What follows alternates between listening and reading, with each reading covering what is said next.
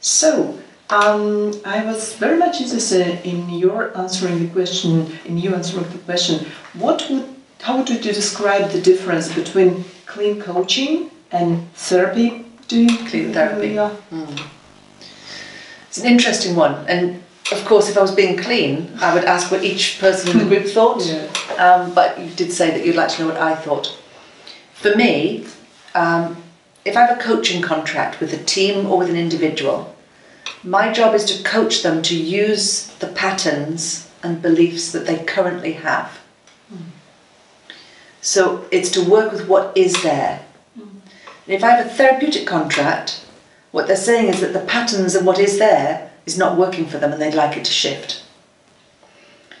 And so sometimes, if I'm coaching, um, so, so generally that's that's the that's the difference. You're working with what is and how you can use it better, and with therapy you're working with what is because they've asked for transformation. That's their agreement. However, if I'm working with uh, doing executive coaching, my client says, "Yeah, just before I lose my temper with my team, it's like," and I say, "What kind of a is that?" She says, "Oh, "I don't know, but it, it's right here. It's really interesting because all my life I've had this this feeling of, of when I really want to go somewhere, I get this this this, and then I get really angry. So, and you all your life." You've got this feeling you want to go somewhere and you get this. She says, Yeah, you know, I know what it is. She says, It's my mother pulling my reins. She said, When I was little, I used, used to run around, but I had reins on. Whenever I went too far away, she would pull them back and I would scream. You go, Okay. So now I've got a little bit of a choice as a coach. I can go and do inner child work so that this woman doesn't need to carry around the reins from her mm-hmm. Child. three year old, mm-hmm. in which case we've moved into therapy. Mm. Or I keep the pattern as it is, I say, okay, and whenever you want to go somewhere, you get this, and then you get really angry with your team, and that's they've been complaining about it, and now you've come for coaching. What would you like to have happen when you do have this? And she might say, I, I, I don't want this anymore. And I say, okay, given that you've had it all your life, that means we might be moving a little bit more into a bit of therapy. Um, does that mean that we need to recontract? Or she might say, I just need to recognise it and manage it so that I don't take it out on my team. That's okay. And then we could work with what is, recognising it. Mm-hmm. See, so to me, it's Yeah. quite it's quite a specific difference. This is transformation, and this is coaching is working with what is to get the best result that you can. Mm-hmm. And you're giving actually the choice for the client to make a decision whether he wants to go into there or he, he, he, he's ready or he has enough resources to deal with it. And if it's a serious thing, which I have had recently, where we went for coaching on one thing about anxiety, mm-hmm.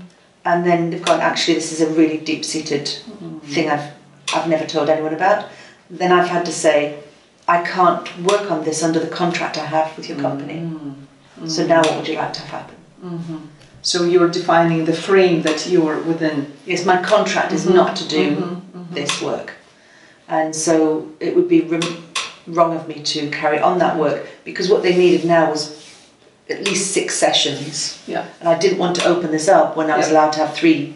And this was our second session. I couldn't open this up under this contract, it wouldn't be right. So we've renegotiated, and I said, it's probably not a thing for you to do at work. Mm-hmm. We'll have these sessions outside of work. Mm-hmm. Did you make a decision to work on that? Yes.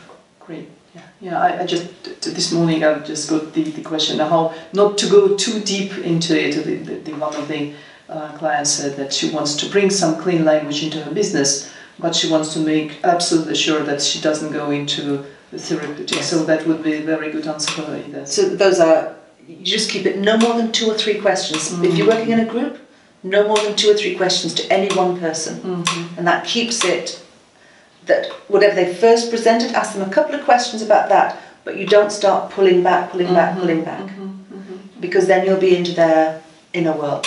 So two to three questions is your minimum in a business Mm. or where you have a coaching contract. Mhm. So for me, it sounds like to, to stay on more on surface level than to go too deep into the stuff. Don't get me wrong, Right. even on that surface level, you will have big insights and big changes. Okay. It's about where they get the changes. In therapy, I can go into deep trance, I can work with the inner child, I can work. And if I'm in coaching, I'm more on a conscious level. Mm-hmm. Um, we go just deep enough for them to recognize it and then go, now what are we going to do about it? Mm-hmm. So it's it's not that it's not deep and powerful work, but you it is on a this level, not a surface level because it's not important, but Okay. just this level. Is it something about the clean and cleanish? Or it's a different thing? It's a different thing. Mm-hmm. Um, if you use pure clean questions with a lot of um, space and a hypnotic, then you will take somebody into trance, Mm-hmm. which may not be appropriate at business. Mm-hmm. So what I do say to people is, if you want to learn clean, if you've learnt symbolic modelling and to work one to one therapeutically, and then you want to take it into business, go and do some training with people who know how to do it in business. Mm. If you've done it in business and then you want to start doing it more in therapy, get some proper training. You know, make sure because if you're going to do therapy, you need to have a supervisor. You need to have done your own therapy. They're, They have different rules to these two fields. Thank you.